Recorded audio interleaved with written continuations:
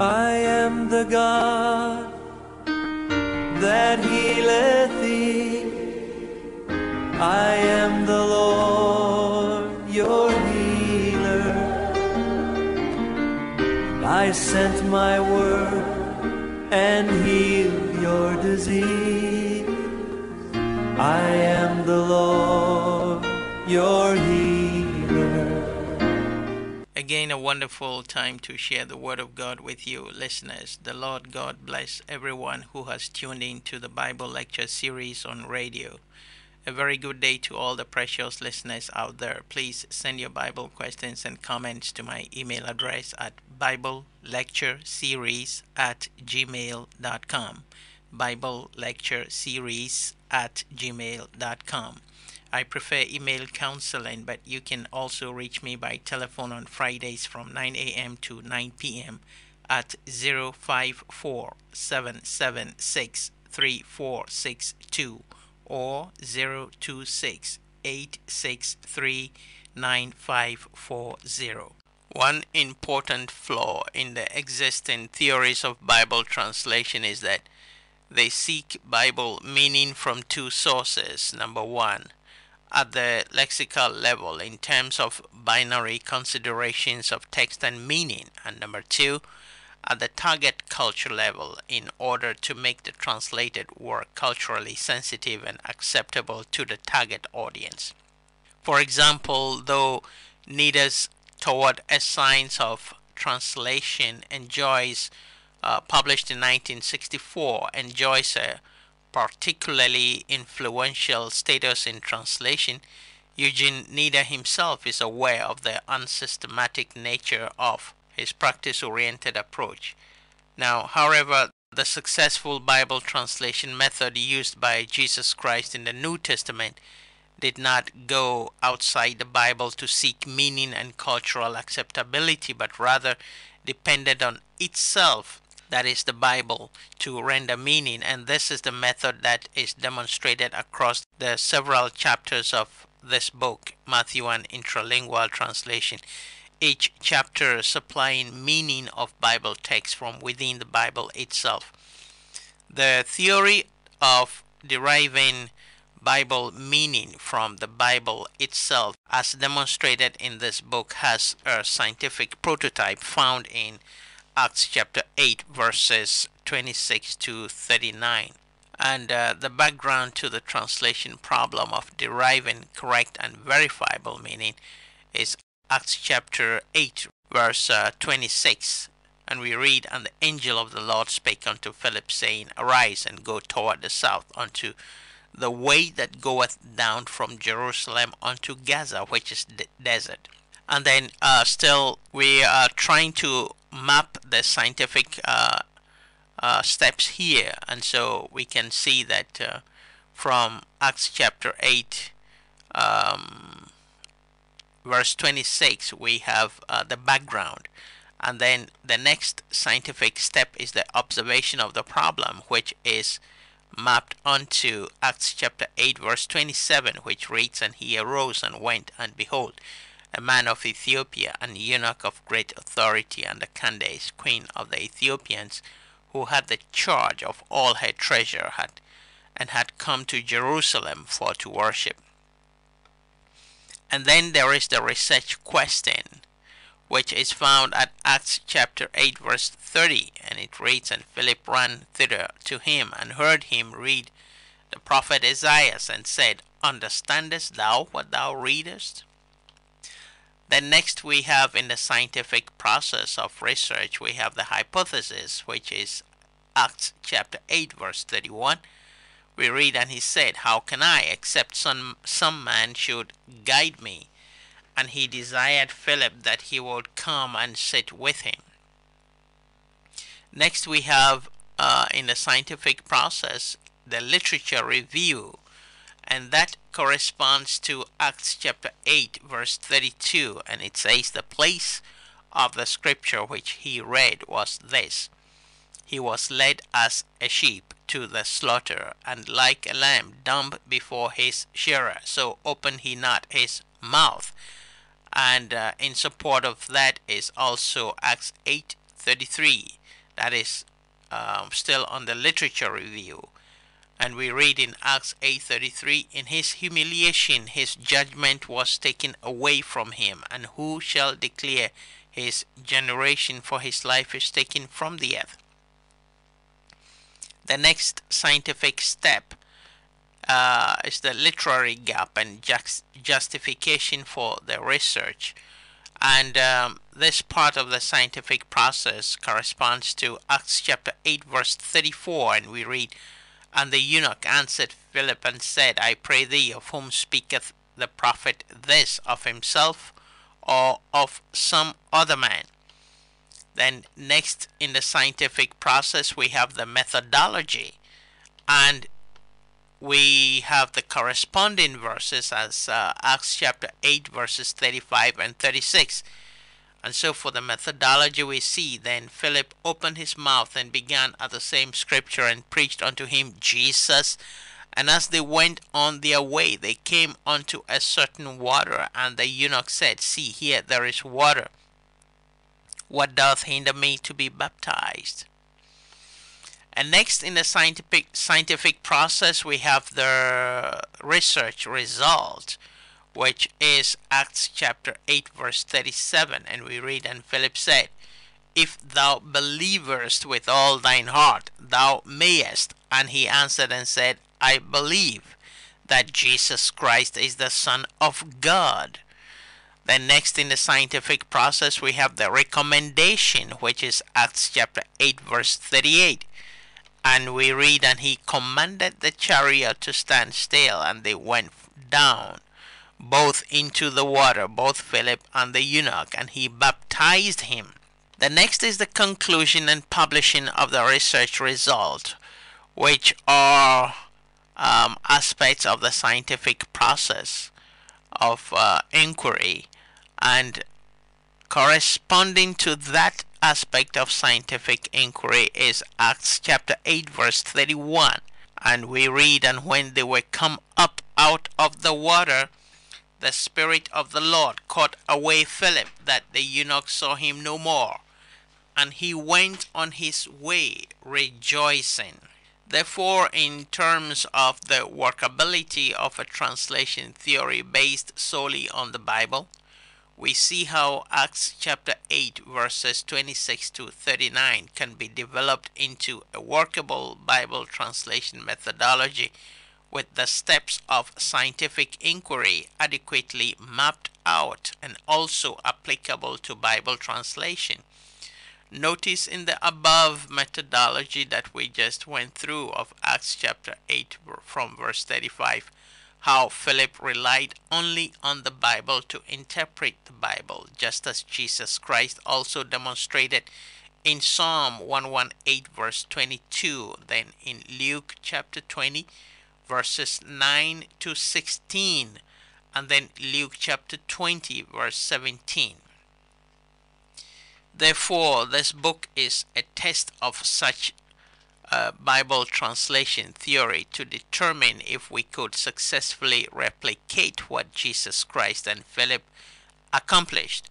Concerning existing translation theories, uh, Edwin Gentzler, for example, writes in Contemporary Translation Theories that translation theory is and is not a new field, though it has existed only since 1983 as a separate entity in the Modern Languages Association International Bibliography.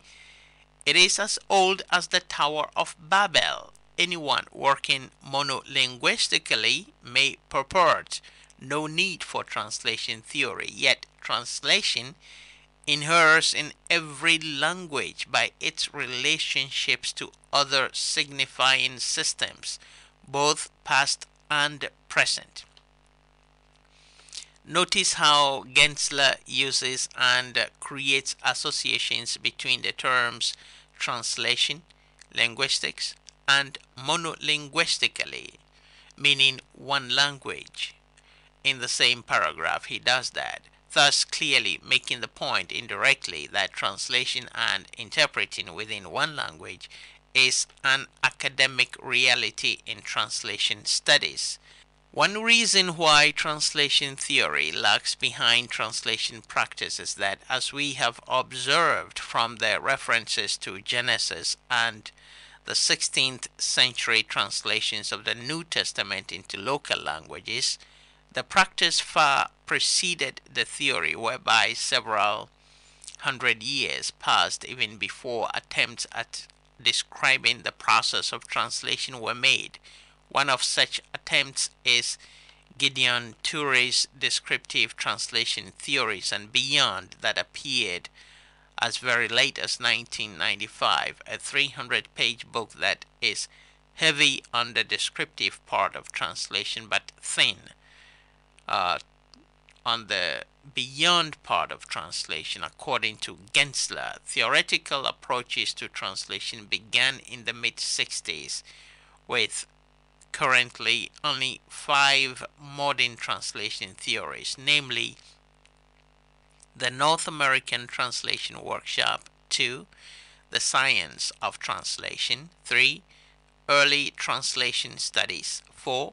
Polysystems Theory, and 5. Deconstruction.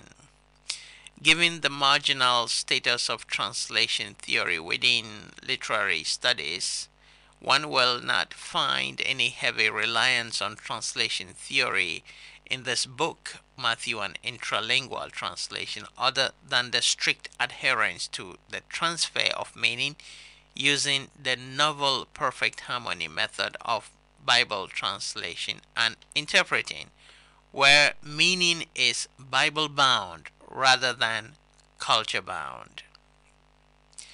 We go to our next subtitle in the introduction, which is the North American Translation Workshop. And so, uh, in this segment, we're going to be looking at those five modern translation theories that we just mentioned. So, we are on the first one, which is the North American Translation Workshop.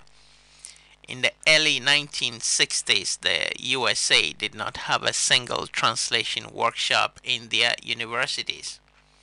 And the North American translation workshops which followed in its wake considered literary translation as a secondary, non creative activity, unworthy neither of serious critical attention nor of general interest to the public. Literary translations began to earn academic credits in the USA only in 1964. A key phrase that sums up the philosophy of this group of translation theories is that adherents of the North American Translation Workshop considered literary translation as a secondary, non creative activity. Now we go to the next subheading, which is the science of translation. That is the second um, segment of the theory, modern theory of translation.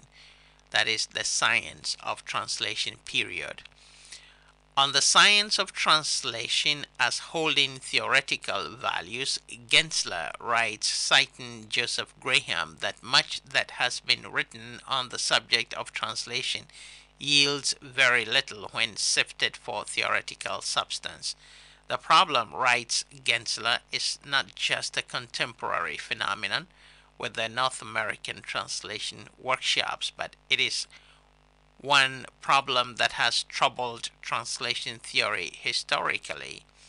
As to the science of translation, Gentzler writes that people practiced translation but they were never quite sure what they were practicing at the same time as they observed some notion of equivalence and the same textual experience in both texts.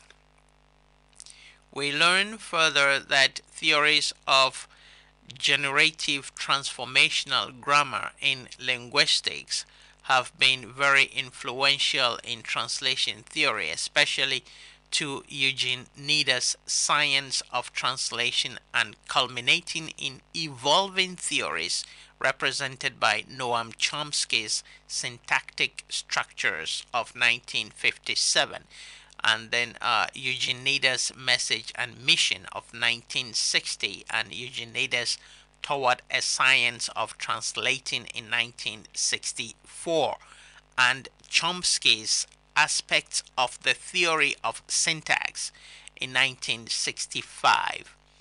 Over the years, Nida's theory in Toward a Science of Translating in 1964 has become the Bible, not just for Bible translation, but for translation theory in general, even though his work was initially practice oriented rather than theoretical.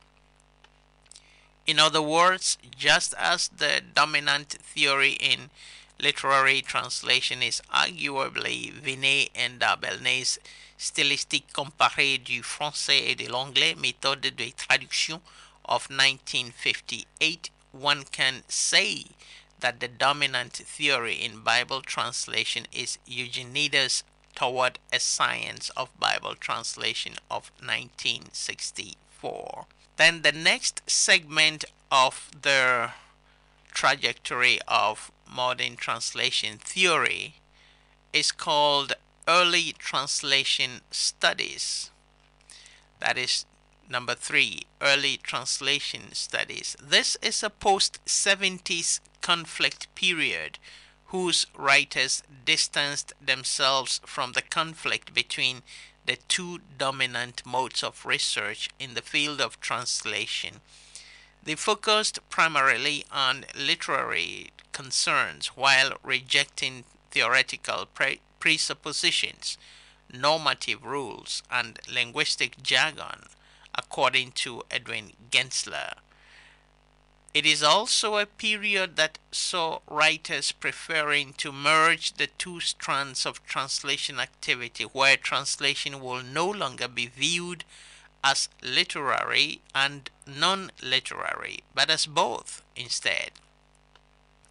While literary translators dismissed any scientific linguistic analysis, linguists dismissed non scientific literary analysis.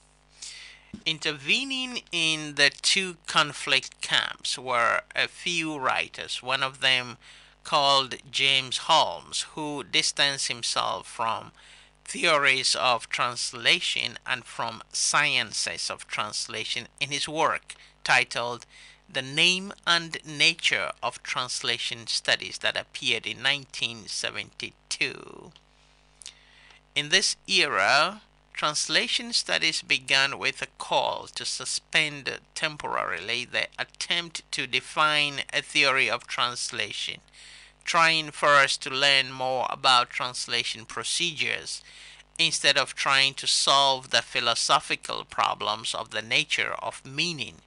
Translation studies scholars became concerned with how meaning travels. Another characteristic of this theoretical era was that even the distinction between original writer and translator was called into question. The object of study was neither an absent core of meaning or nor deep linguistic structure, but rather the translated text itself. At this juncture, we point out that this book demonstrates a convergence of thought and position with the position of this theoretical era called early translation studies, which prescribes that the focus of translation should rather be on the translated text itself. The slight difference here in our two positions is that we advocate that the Bible translated text must derive its relevance from the Bible source text and not from situational or cultural requirements. Our position is thus a translatorial exemplification of the Akan Sankofa philosophy, which stipulates a return to the origins in order to get wisdom to confront the future. The next modern translation theory period is called the polysystems theory period. The polysystems theory, first introduced by Itamar Ibn Zohar in 1990 is traceable to academic papers of 1970, 1977, and 1987 in the journal called Papers in Historical Poetics. Polysystem means the aggregate of literary systems in a country, including high literature, canonized literature, children's literature, poetry, popular fiction, low culture literature, primary or secondary literature, and everything that passes for literature in a given culture, whether small and nascent or huge and established culture. In the polysystem theory, translated literature occupies a very important position in the overall literary history of a nation.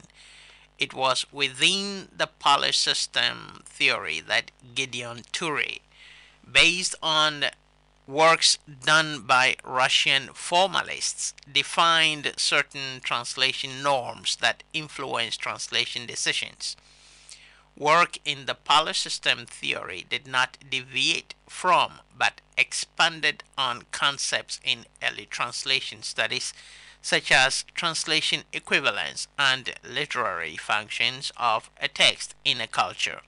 While several translation theorists before Even-Zohar and Gideon Toury tended to look at how translation influenced literary and cultural conventions in a given society, the polysystem theorists opined that it was rather the literary norms and cultural conventions in the target system or culture that influenced and governed translation decisions, which is quite an accurate assessment when viewed against the backdrop of French language purists and translators whose philosophy of purifying the French language led them to constantly seek to weed out foreignisms that migrated into the French language. We go to the next modern uh, theory period um, of translation um, that is called the deconstruction period.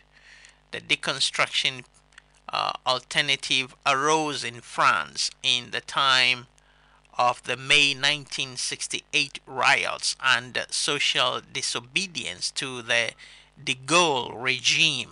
An adherents of this theory published their writings in the Parisian journal called Tel Quel. Scholars of the de- deconstruction period, such as Jacques Derrida and uh, post colonial theorists of translation, expose the limitations of the polysystem theory and offer no new translation theory of their own, but new alternatives and ways of viewing translational phenomenon writes Edwin Gentzler. For example, deconstructionists have the notion that the translator's work is an original. While all the translation theories reviewed above retain the notion of duality in the translation process of source and target text equivalents, deconstructionists radically question almost all the traditional views of translation and ask why the original should not rather be considered to depend on its translation. For this group of translation scholars, the original text does not exist without the translation, and it is the translation that gives life to the so called original. This translation theory is also of the view that scholars should think along the lines of allowing the translation rather to define the meaning of the original text and not, as traditionally practiced, allowing the original to dictate what meaning the translation should adopt. More so, it considers that the identity of the so called original text should not be fixed but should change in accordance with new elements in the translation. This translation theory questions even the idea of the term original and wants to know if what existed before the original was an idea, a form, a thing, a thought, an apparition, or nothing. In other words, the so called original is also a translation, having derived from something else. Deconstructionists raise questions challenging fundamental notions in all the theories discussed above and also even question the questioner. Deconstruction theory questions the several definitions of translation and the boundaries that they invariably impose and use the absence of unanimity in the definitions of translation to demonstrate the instability of translations' own theoretical frameworks.